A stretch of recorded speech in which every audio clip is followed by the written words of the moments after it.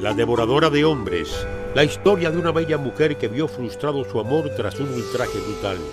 la lucha de un apuesto joven que regresa a enfrentar la maldad y se convierte en la obsesión de la devoradora, una versión para la televisión basada en Doña Bárbara de Rómulo Gallegos, de lunes a viernes a las 6 y 30 de la tarde por Cubana de Televisión, una producción de Roberto Marrero.